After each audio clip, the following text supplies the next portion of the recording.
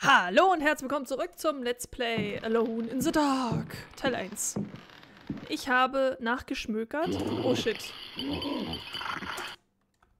Scheiße. Nein, nein, nein, nein. Nein. Verdammt. Okay, wir müssen erstmal die Petroleumlampe ablegen. Das ist jetzt aber unfair, ne? Laufe, lauf, lauf. Und dann müssen wir hier irgendwo... Nein, nicht, nicht werfen. Nein. Ja, nehmen, nehmen.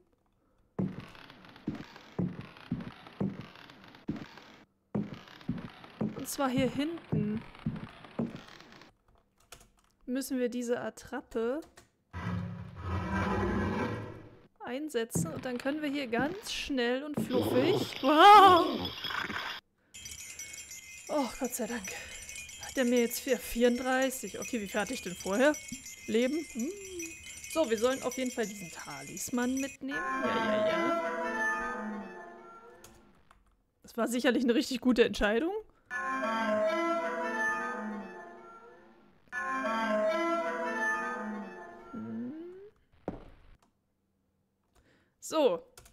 Jetzt finden wir Dolche und Messer. Beziehungsweise Dolche und Dolche.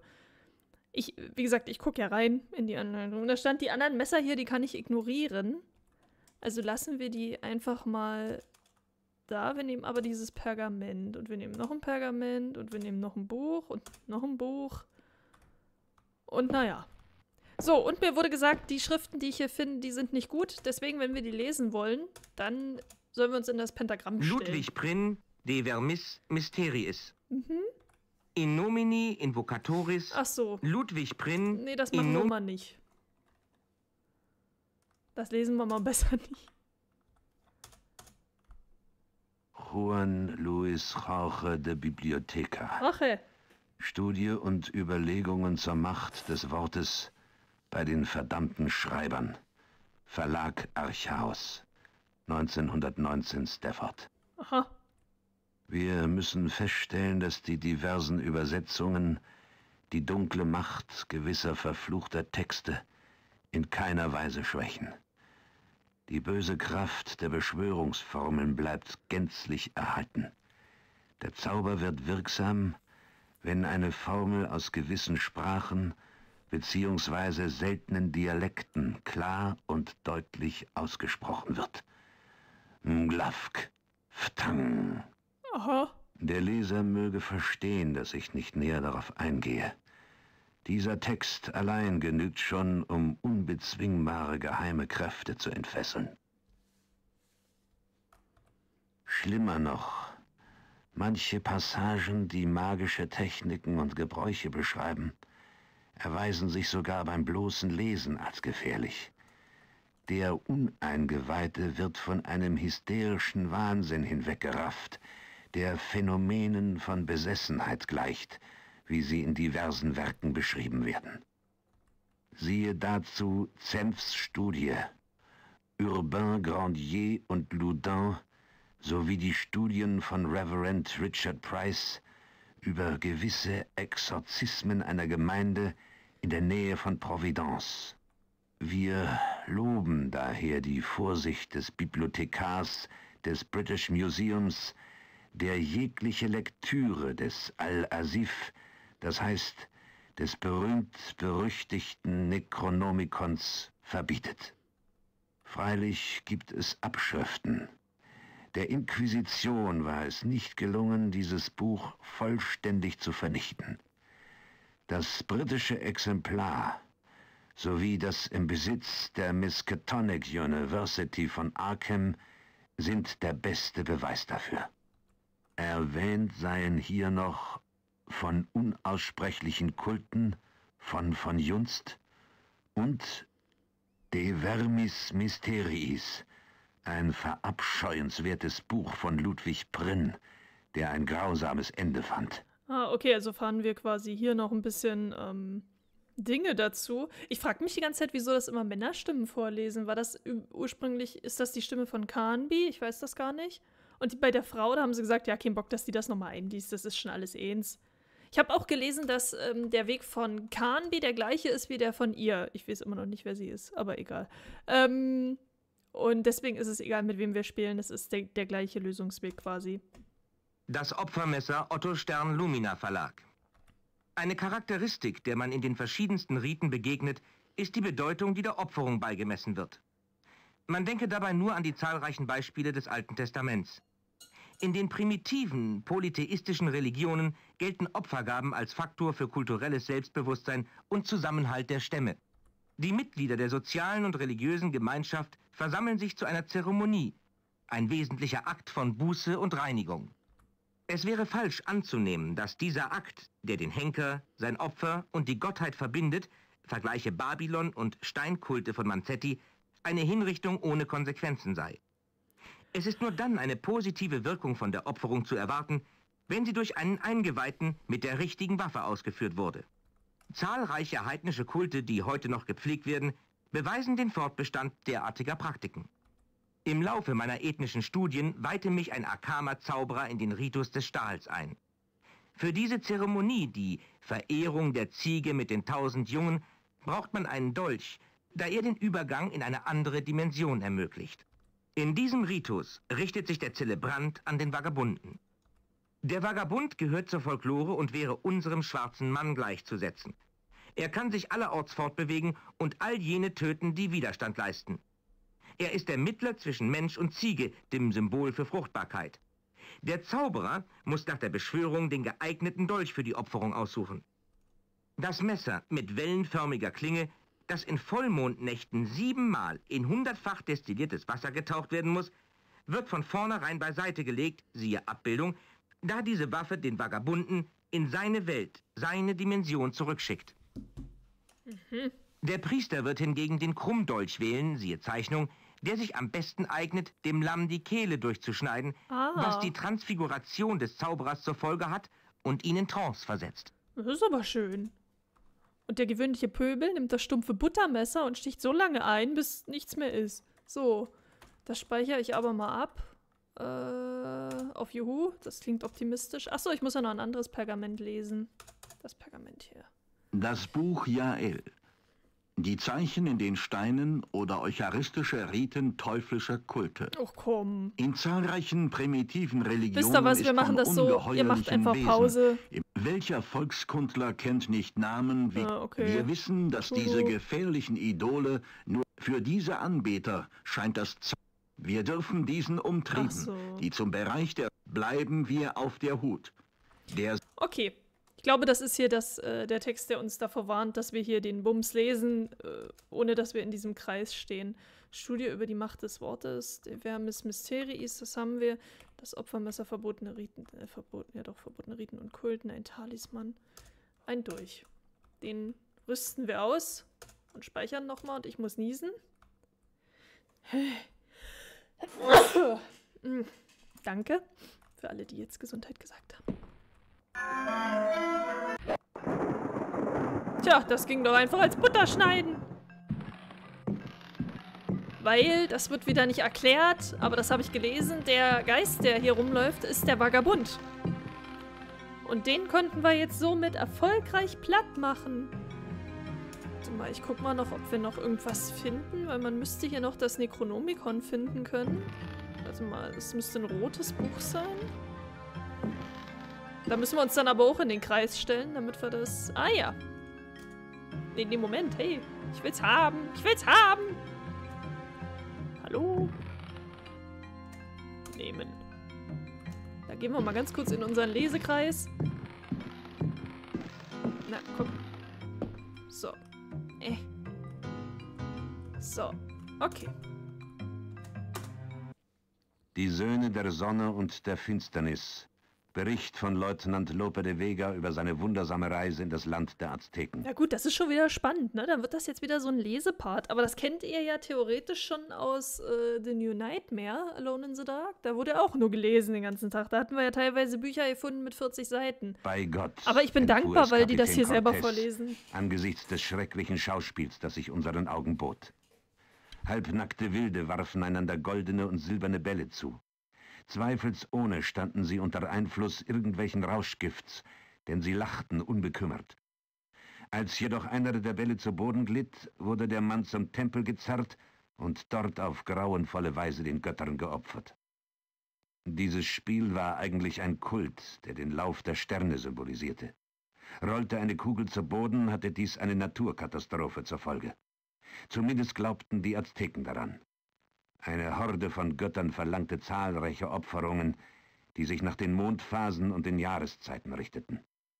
Nun hielt der Priester mit blutbefleckter Hand das noch zuckende Herz des unglücklichen Azteken in die Höhe. Die Kühle, die im Tempel herrschte, erstaunte uns. Das Gewicht der von der Sonne erhitzten Rüstungen, unsere Qualen unter der Schöpfung, schwanden vor der einfachen Schönheit des Altars. Eine beschwörende Stimme durchschnitt die Grabestille. Eine majestätische Statue, die Schaltschewitliku, die der Göttin des Wassers geweiht war, schien wie von Lebensströmen durchflossen. Was für eine Kuh? Dieser in einen Goldmantel gehüllte Steinkoloss erwachte in der Tat vor unseren Augen zum Leben. O Graus! Die Granitaugen, die eben erst noch leer waren, füllten sich jäh mit Blut. Entsetzt fuhren wir zurück. Dom José wurde von Krämpfen ergriffen. Er versuchte sein Kruzifix hochzuhalten. Da lachte der Priester schallend. Ein Grinsen verzerrte die Lippen der Statue und entblößte eine Reihe spitzer Zähne. Kapitän Cortés brüllte, Vorwärts! Doch wir waren wie festgenagelt. Trotz größter Anstrengung konnten wir keinen Schritt tun. Unsere Rüstungen schienen mit dem Steinboden verschmolzen. Unsere Beine knickten ein und wir brachen mit Geklirr zusammen. Nur Cortés hatte die Geistesgegenwart, seinen Dolch dem Priester ins Gesicht zu schleudern. Der Azteke kostete gute vier Zoll feinsten Toledo-Stahls. Sein Blut bespritzte das nunmehr unbewegliche Idol. Mühsam erhoben wir uns. An dieses Abenteuer werde ich mich mein Leben lang erinnern. Meine abergläubischen Gefährten verbreiteten tausend Meeren über die verhexten Rüstungen. Wie dem auch sei. Die Gottheit des vierten Universums hatte unseren Trupp all seiner Kraft beraubt. Und seither glaube ich, dass dem steinernen Idol auf ewig eine geheimnisvolle Kraft innewohnt, die den tapfersten Konquistador in eine armselige Blechbüchse verwandeln kann.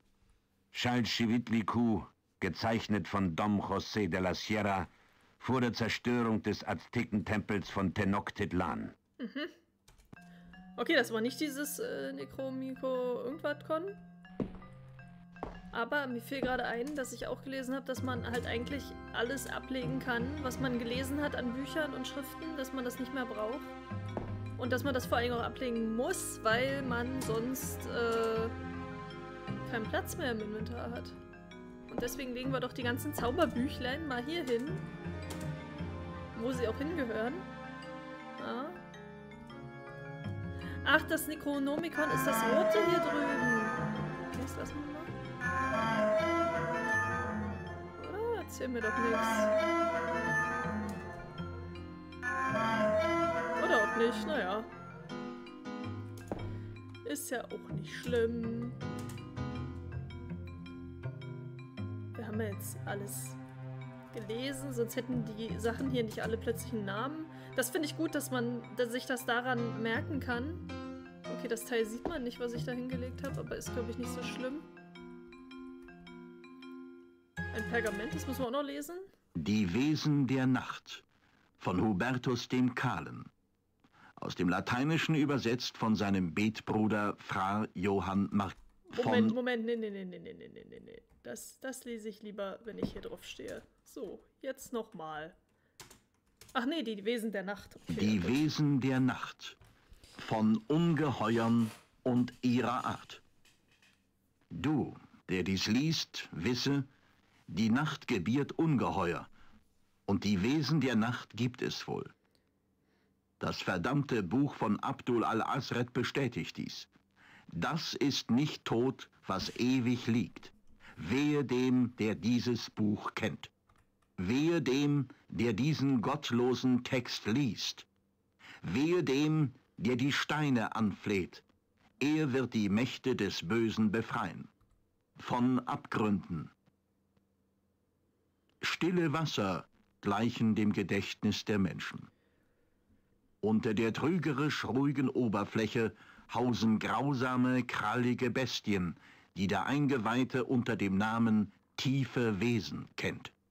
Das tiefe Wesen packt sein unseliges Opfer und zieht es in den Abgrund, wo Dagon, der unerbittliche Gott, wohnt, der des unaussprechlichen Namen ehrt. Von Bibliotheken. Wehe dem, der den Irrenden befreit. Wehe dem, der ihm in den Büchern begegnet. Dieser zeugt den Vagabunden, der aus anderen Sphären kommt. Er glaubt, dass der Vagabund nicht ist. Also hat dieser, der Typ, wir haben ja vorher so ein Tagebuch gelesen von irgendeinem Typen, der da ähm, halt die ganze Zeit schreibt, dass der schwarze Mann ihn verfolgt und er versucht halt, ne, der hat ja auch das Pentagramm dahin gezeichnet. Klar, wir sind ja gerade in der Bibliothek. Aha, und also, und der schwarze Mann war also das dicke lila Michelin-Männchen, was wir gerade mit dem Opfer durch umgebracht haben, oder wie? Und der heißt Vagabund. Oh er wird des Todes Umarmung spüren. Aha. Denn für den Vagabunden sind die Bücher nur Träume und der Stein nur Wind. Und doch weiß der Vagabund, den Odem des Leichtsinnigen zu rauben. Da steht gar nicht Leichtsinnigen, da steht Toren, des Toren zu rauben. Von Kämpfen. Wer redet, weiß nichts und glaubt, die Wesen der Nacht bezwingen zu können. Welch Torheit. Da nehmen sie Torheit. Nur oder? Weisheit und Verschwiegenheit dürfen das Böse beschwören. Wer die Bücher stört, wird durch der Wahrheit Schneide enden. Wer durch dunkle Höhlen eilt, wird vor Entsetzen brüllen. Wer in den Tiefen schwimmt, wird verdampfen. Wer zu wissen glaubt, weiß nichts. Wer weiß, redet nicht. Von dem Tod. Es gibt Welten, die sind schlimmer als der Tod. Das ist nicht Tod, was ewig liegt. Jede Kreatur kann beschwört werden. Die Beschwörung führt nicht zu ihrem Tod, sondern zurück zum Ursprung. Ein Ungeheuer, eine Wissenschaft. Der Stahl tötet den Vagabunden, der niemals stirbt. Ja, das ist doch beim Widerspruch in sich. Der Stahl tötet den Vagabunden, der niemals stirbt. Dann tötet der Stahl den doch nicht, verdammte Scheiße. Anmerkung des Übersetzers. Mhm. Hier endet das Manuskript von Hubertus, der anno 1666 in der Bibliothek von Taruella starb. Requiescat in pace. Hm. Alright. Schön. So, dann hat euch hoffentlich unsere kleine Lesung sehr, sehr dolle gefallen. Was habe ich da eigentlich für einen Schlüssel?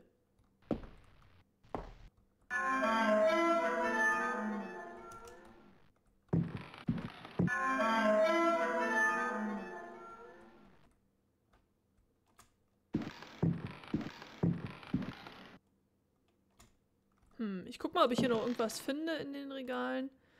Ach, noch eins.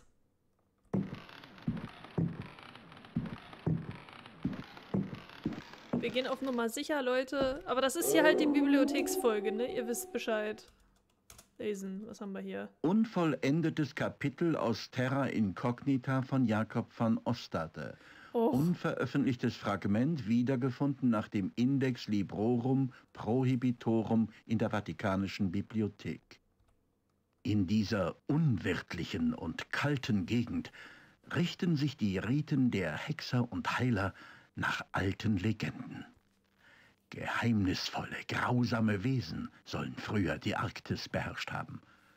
Eine Stadt mit hohen Mauern soll heute noch entartete Abkömmlinge derer beherbergen, die hier Jahrhunderte zuvor so viel Schrecken verbreiteten, dass die Seelen dieser Völker für immer gebrandmarkt sind. Das ist aber schön. Die ansonsten friedliche Bevölkerung wird von Wut und Angst ergriffen, sobald jemand von den Gefangenen im Eis spricht. Aus ihrem eisigen Grab befreit, verlangten sie damals Menschenfleisch als Tribut. Diese Kreaturen gehorchen denen, die gewisse Beschwörungsformen kennen. Sie unterwerfen sich zwar, können aber, wie es scheint, unerbittlich sein. Ich muss gestehen, ich bin sehr beeindruckt durch die Berichte, die ich im Laufe meiner Reise gesammelt habe und durch die Kultgegenstände aus unbekannten Stoffen. Eins ist sicher, die Eskimos verwenden ungern gewisse Worte, die sie bis zu ihrer Todesstunde geheim halten. Fürchterliche Macht des Wortes. Aber steht nicht selbst in der Bibel, im Anfang war das Wort? Ja. Ja, ja, ja. So, ich hoffe, jetzt ist die Lesestunde aber auch langsam mal vorbei. Ich sag mal so, ich könnte die Lesestunde auch einfach selber beenden, indem ich jetzt hier aufhöre, Bücher zu suchen. Ach, hier auf der anderen Seite sind ja auch noch welche. Ach Leute, ist das nicht schön mit uns hier? Ach. Tatsache, was war denn das jetzt hier für ein Buch? Ich suche dieses Necronomicon, oder wie das heißt, weil äh, in der Lösung, die ich gucke, steht drin, wenn man die liest, ohne dass man in diesem Schutzkreis steht, dann stirbt man. Und das ist so abgefahren, das finde ich schon wieder witzig. Aha! Das ist es. Ich guck mal, ob ich noch mehr finden kann. Was ist denn hier? Oh Gott. Okay.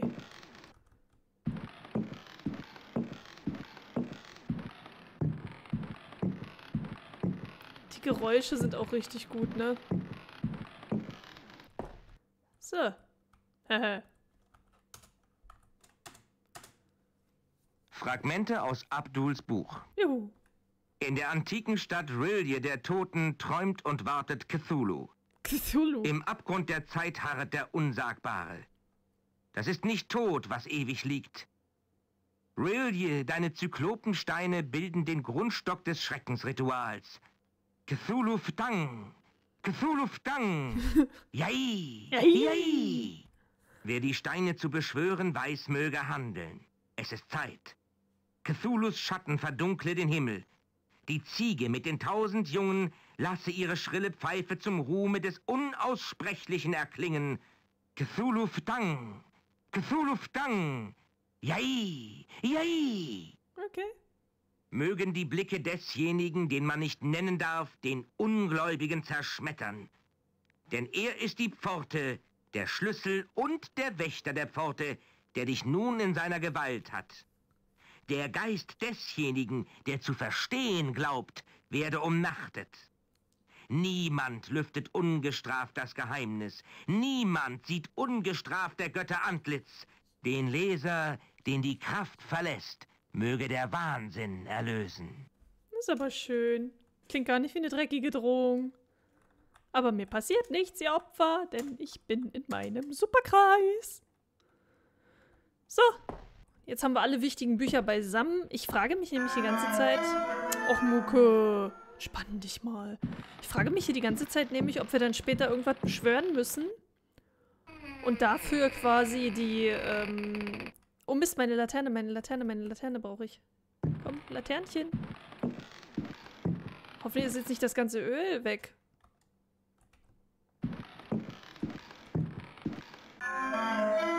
So. Petroleum. Oh, okay. Ne, ich muss die aus der Hand nehmen. So. Okay. So, und jetzt haben wir es ins unterste Stockwerk geschafft, Leute. Woo. Jetzt müssen wir alle so tun. Ich schreibe mal hier hin. Oben. Fertig. Jetzt müssen wir alles so tun, als ob wir hier unten noch nie gewesen sind, ja? Wisst ihr, es hat jetzt ziemlich lange gedauert mit dem ganzen Scheiß Lesen. Das heißt, wir machen hier zusammen die Küche noch. Wie sieht's aus, hä? Habt ihr da Bock drauf? Ich habe übrigens eine sehr interessante Information darüber gesehen, wofür man den Suppentopf mit dem Menschenfleisch braucht. Das war sehr interessant. Ihr werdet es mögen. Das Gesicht von der ist so geil. Guck mal, wie hübsch die guckt. So eine süße Maus. Oh, nicht zu fassen. Keksschachtel, die essen wir erstmal, damit wir unsere Energie auffüllen. Und die leere Schachtel packen wir natürlich weg. Ja, wenn genug Platz wäre. Dann machen wir es jetzt nochmal. So.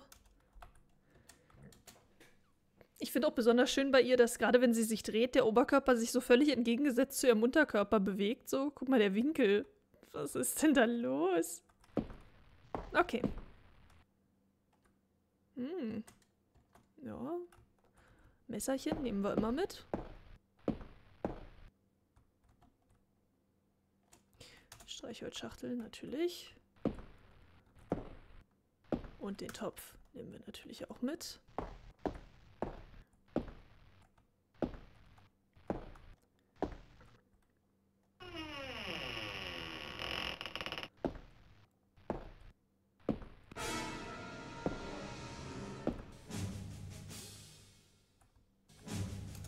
So, und jetzt äh, benutzen wir... Wir haben doch ein schönes Schwert. Yeah. Bitch! Geh weg mit deinen Händchen! Frechdachs. Zeig's ihm, Olle! Wer auch immer du bist. So, er ist tot. Yay! Wir nehmen den Ölkanister, den füllen wir dann auch gleich auf.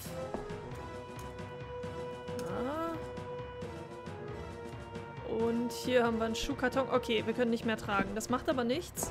Und was wir tun können, ist, wir haben ja eine Kanne im Inventar. Die können wir hier benutzen. Und diese mit Wasser füllen. Okay.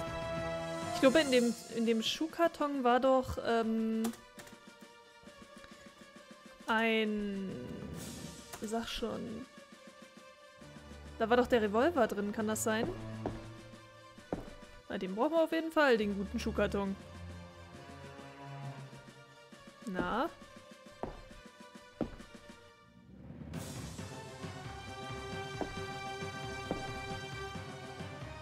Mache ich hier auch das Richtige? Ah, jetzt. Nehmen, natürlich. Okay. Yes! Scheiß Schuhkarton packen wir hier hin. So, und dann speichere ich auf jeden Fall ab. Okay. So, das sieht doch ganz gut aus. Haben wir noch irgendwas im Inventar, was ich nicht gebrauchen kann? Oh, ein Buch? Was für ein Buch ist das? Wenn Steine sprechen könnten. Och nö. Oder Geschichte einer Plantage in Louisiana. Nee, Leute, das machen wir so. Nach dem Verkauf so, Floridas ja, durch den dieser. Abenteurer war von Gott. In seinem Wahn wechselte nach vollendetem Bau. Wir verließen die Gesellschaft. Juni 1802, 1875 fand das Gut. Hartwood war von Pickford fast. Wir führten lange Gespräche über seine Forschung. Hartwood arbeitete ohne Unterlass. Zuerst so, man muss ja nicht übertreiben, ne? Jetzt reicht's ja auch mal hier mit der höflichen, wir lesen hier alles durch, als ob es uns interessiert, Nummer. Hey, ich habe mehrere Schlüssel im Inventar. Meine Güte. Okay, dann nochmal. Den können wir, können wir den. Nee, der kann nur. Der kann aber, glaube ich, nur. Doch, der kann zwölf Schuss. Geil. Aber ich weiß nicht, ob wir die Messer brauchen, aber ich behalte sie erstmal. Wir wissen ja nie.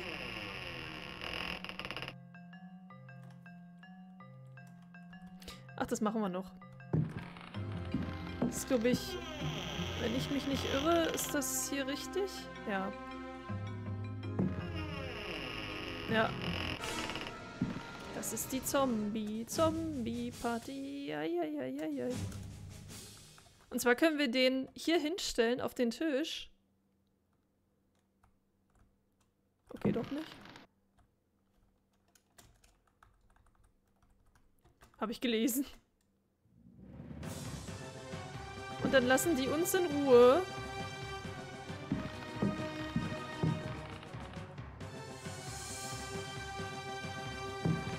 Und dann sollte hier eigentlich alles schick sein. Und ich muss gar nicht kämpfen. Das finde ich richtig gut. Stattdessen kann ich den Affen hier noch ein bisschen die Bude ausräumen.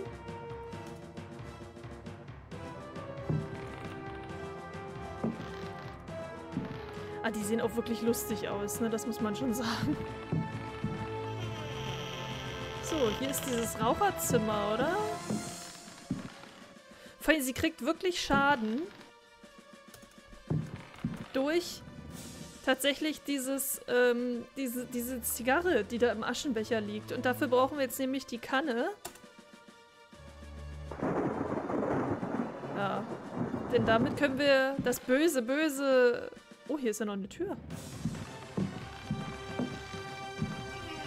Das böse, böse Passivrauchen unterbinden, Leute. Gott sei Dank. So, da haben wir viel geschafft. Ähm...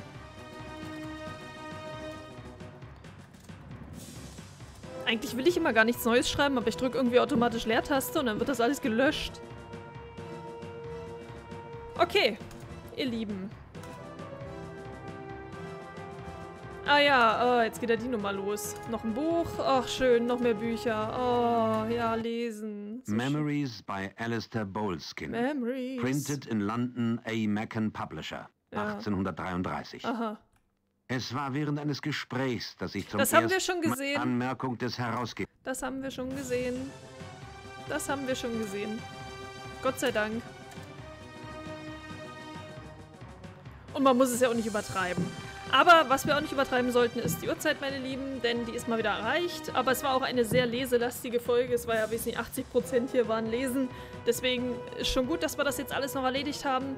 Dann erstmal Dankeschön fürs Zuschauen und dann sehen wir uns beim nächsten Mal. Tschüss. Und boah, hä? Was war mit meinem Tschüss? Geht jetzt prompt die Musik aus oder was? Okay, bis dann.